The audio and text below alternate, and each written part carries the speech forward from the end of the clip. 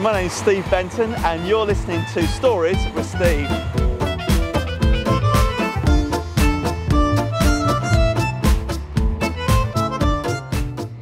Where we think of a story from the Bible and how it might apply for today.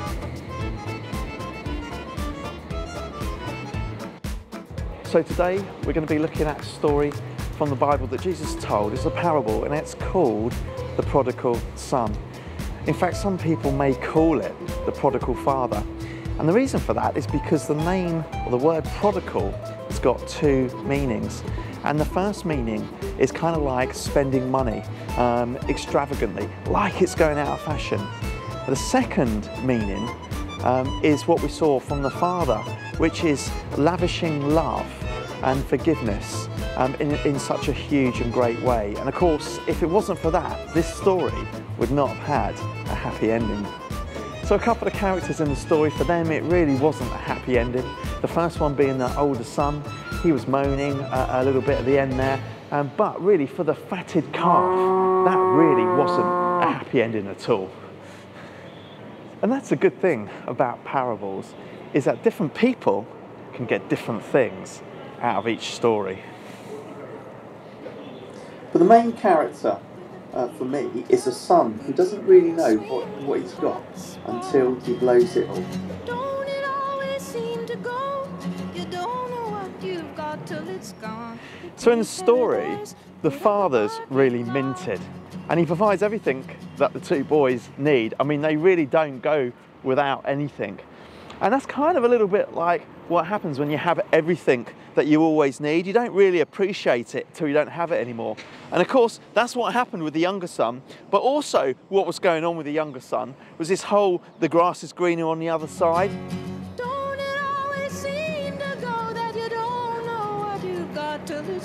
So the younger son, he goes to see his father and he says to his dad, Hey, dad, I don't want to work for the family firm anymore. You've got some hard assets. Can you sell some castles? Can you give me some money? Can you give me my inheritance that's mine? And, um, and he asked his father if he could do that. His father, I didn't want to hold him back. He didn't want to say no. He let him do that.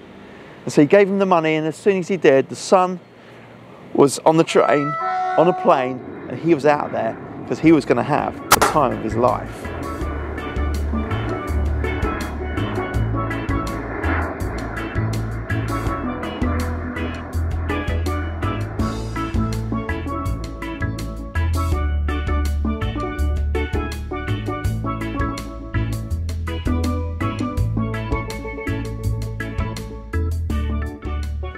So it's a little bit like the old saying, life's a beach and then you die.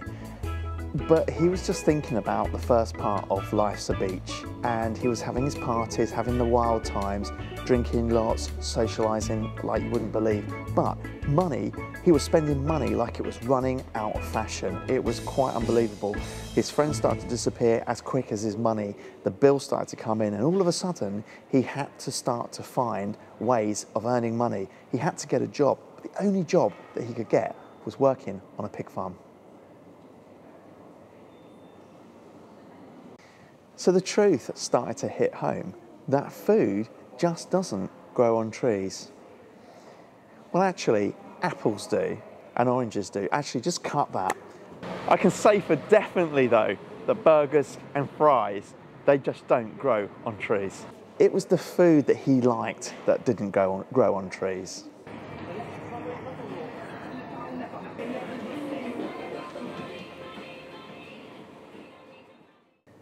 So it got to the point in the end that he was actually starting to eat the pods that he was feeding the pigs on the farm.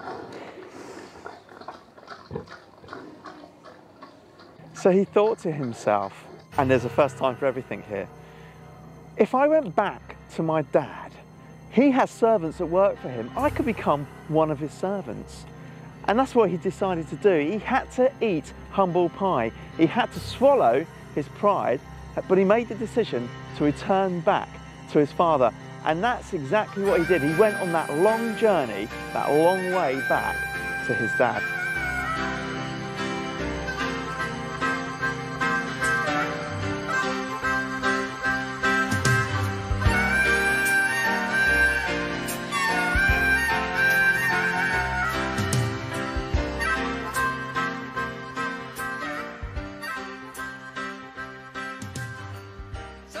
So his, the son makes that journey back to his father. And, um, and in the story, it says that even while he was a distance away, the father spotted him. And as soon as he spotted him, his heart of love and compassion just flowed. So much so that he sent, the father sent his servants with the best garments to clothe his son. He sent his servants to create and make a huge feast. It was time for celebrations. That's how the father, that's how much a father loved his son. And of course, the son arrived, saw his father, and said, Father, I've sinned. I've sinned against you. I've sinned against God. I've done my own thing. I've really screwed up. I've messed up. Um, will you forgive me? Um, if I could just come back as one of your servants, that would be fine. That would be good enough. But of course, the father wanted so much more than that. He wanted his son back as his son. And so he put his arms around him and he welcomed him back. He didn't have a go at him. He didn't um, start telling him all the bad things that he had done. He didn't make him feel guilty. He didn't start to judge him. He just opened his arms of love and welcomed him back into his family, where he'd always wanted him, where he'd always wanted him to be. And that's what happened. You see, that son started to realize for the first time how much the father loved him. For the first time, he started to see the blessings and the riches that were all around him. He couldn't see it before, but all of a sudden now, he realized what it was that he had from his father. And I think sometimes that can be a little bit like us, can't it? You know, God's always there for us. He wants to be that loving father. He's got so many riches and great things for us. Maybe in our lives we think we always want a bit more, something more that we can't have. And so we, we move away from that, far, from that father's love. We move away from God. But just like the son did, he decided that he wanted a return. He decided that he wanted a life with his father and he took that chance. And I want to encourage you today that wherever you're at in your life, wherever you're at in your journey, maybe you're at the party bit, maybe you're just at the start of the journey of trying to find something more, maybe you're at that point where you just need something different to happen in your life, you need a change. Well, I want to encourage you to make that same choice that that prodigal son made. Return back to the Father. You see, God's not going to judge you, He's going to love you. He's going to accept you. He's not going to hold the sin, the bad things against you. He's going to hold His heart of love towards you. So I want to encourage you to do that in your life. Make that your prayer for today. Make that your prayer for today. Maybe there's just areas of your lives that you need to come back to the Lord on. Maybe it's not your whole life, but maybe there's just areas. I want to encourage you today to have a think about those areas. You know, if God's not a part of that area of your life, you can make the, chart, the choice today to return back to Him, to His love and to His riches and the blessings that He's got. They're there for you. Amen. Amen.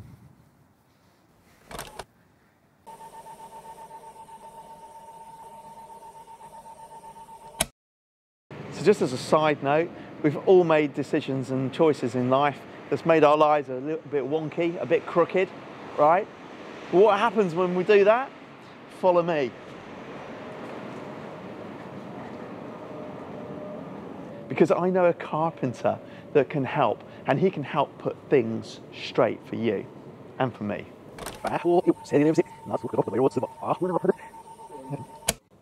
So the final part of the story of the prodigal son is really this. We all have the freedom, we all, all have the option to return back to God the Father who loves us, who wants us to have a good life with him. That's my story for today.